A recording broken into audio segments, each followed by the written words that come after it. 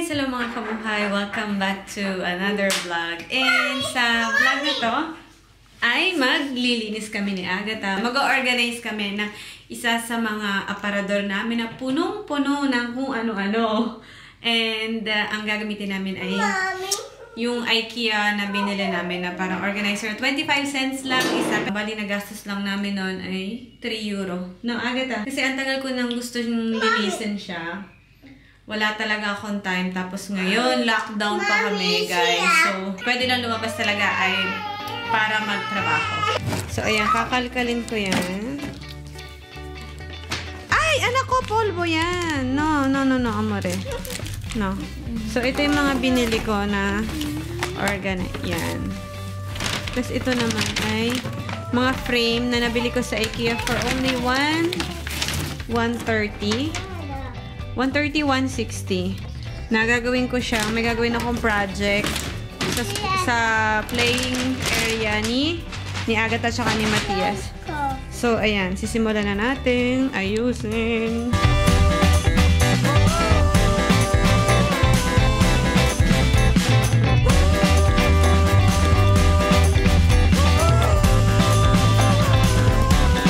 Binukod-bukod ko na muna. Ayan, ang kalat. Tumapon kasi yung krema. Ano, so ito siya guys. Yan, mga container. So, ito, 50 cents. 50 cents, 25 cents. So, ano na to? 1, 2. Tapos ito, 1 euro. Dapat bumili pala ako ng madami. Ang dito sa mga cotton. Kailangan ko ng plastic na kung saan ilalagay ko yung mga kose na itatapon ko na. Ito. Ah, ito pala yung hinahanap ko. Nalaba. Oo nga eh. Buti na lang nagkaroon ako ng type.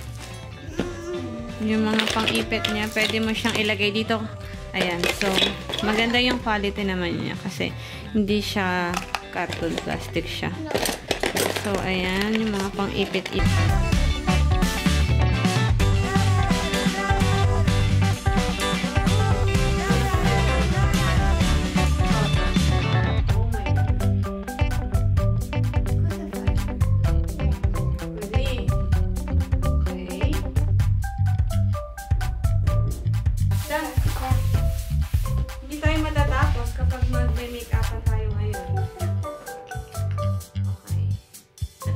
Ganito karami yung laman nitong drawer na to na hindi naman namin nagagamit. So, so kailangan na namin itapon. Ang laki pala ng space na na ano niya, na occupy, na occupy, na na-occupy niya dito sa drawer na to. So, napaka lifesaver yung ganitong mga container kasi dinidivide niya yung mga gamit mo. Madali siyang mahanap. Yung nakabukod-bukod na, yung parang dampot ka lang ng dampot, tapos pag isusoli mo, ganun lang din.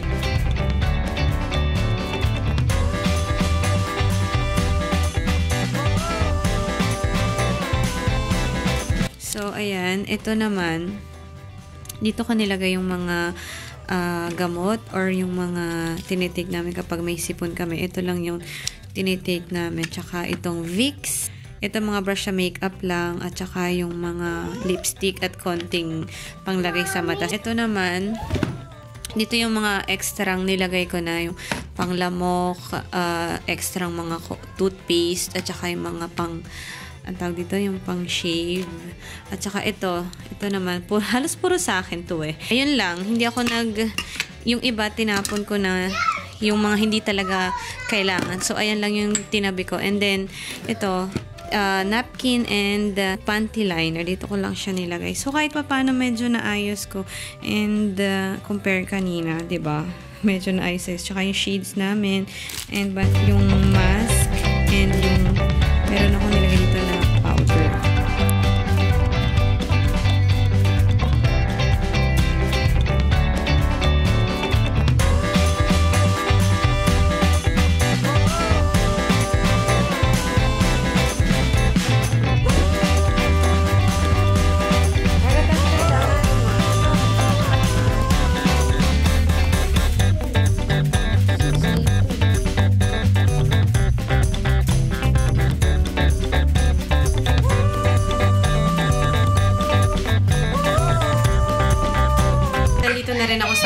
lilinisin na rin namin ni Agatha. Habang si Daddy at saka si Matias ay nag-assignment sila, nagko-compete dito sa, sa playing room. Ngayon naman, ayusin namin yung kwarto kasi kanina maaga akong lumabas. Wala na akong time para um, imisin to kasi tulog pa si Babe. And uh, ayoko namang maistorbo siya. Tapos kanina naman, siya yung nagluto. Natambakan ako ng tiklupen kasi ito yung pinakaayaw ko sa gawain bahay, yung magtiklop. Gusto, mahilig ako maglaba, pero magtiklop, um, minsan si babe. Tsaka magplancha, hindi ako marunong magplancha. Eh, kahapon, lazy Sunday kami. And, balak sana namin kahapon lumabas. Kaso, tinamad na nga.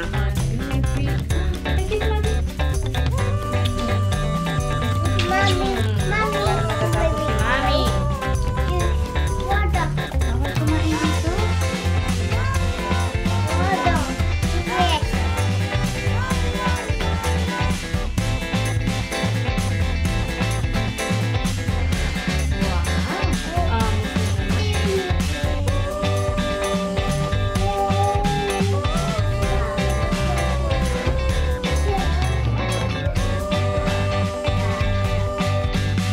ako, mahigit isang oras ng tiklop sa napakaunting kaunting bag. Um, ang dahil kasing patalastas ni Agatha.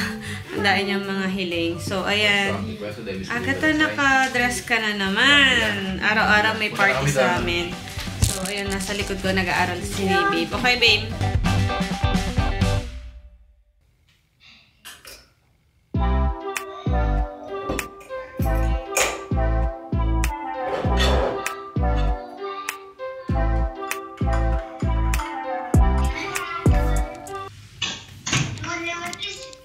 So, mag-aalmasal ako dito sa harap ni Matt.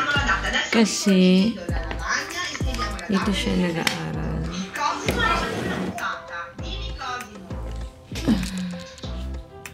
Nandun siya. So, dito muna ako maghihintay ng ilang minutes. Tapos, sayaan ko na si Matias muna. Kasi, para maging ano siya, autonomous, sabi ng teacher niya. Hey guys, good morning! Um, medyo na-late tayo ng gising, pero ang importante ay nakapag nakahabol si Matias sa online class at nakapag-almusal siya.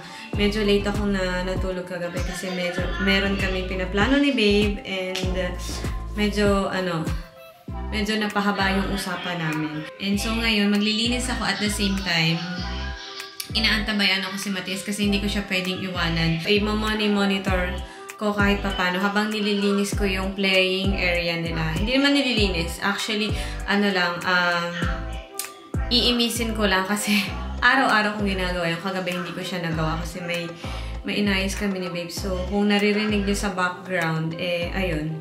Ayun yung, ano, yung ginagawa ni na Matias. May dinadrawing sila ngayon about sa science. So, ayun.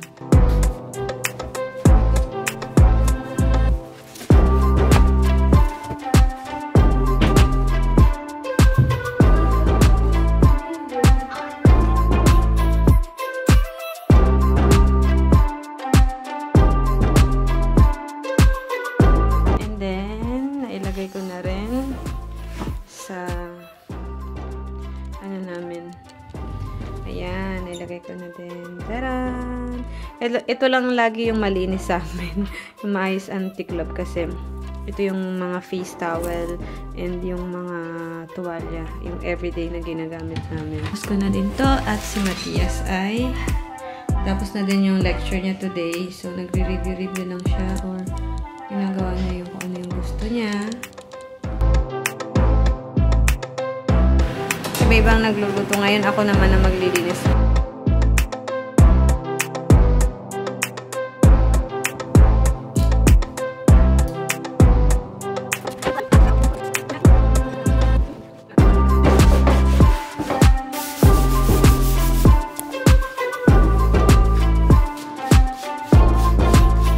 Tapos na kami mag-lunch. Nalad lang kami ng video ng vlog namin na umuwi sa Pilipinas. So, yun. Dahil nalinisan ako sa magka-coffee ako and then tea. Saka na ito lang.